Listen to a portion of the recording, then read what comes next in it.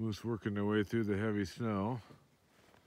And a couple, well, we got three over there. They really hung up around these alders trying to get some feed. At least three there. We look up on the road, right about milepost 64 Denali Highway, there's a couple more.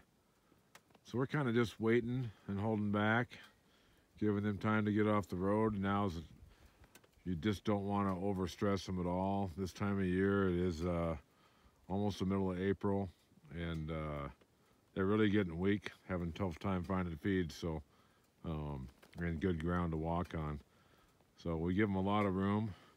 We'll snow machine up the mountain probably and get around them that way, so we don't uh, stress them out at all, and uh, let them go about their business. So probably two, three weeks from when we start seeing some new shoots come up, stuff they can get some nutrients back in them and put some weight back on. So that's what we're hoping for. Um, we need just a, a few good warm days to melt off some of these slopes and get some new shoots going. Yep.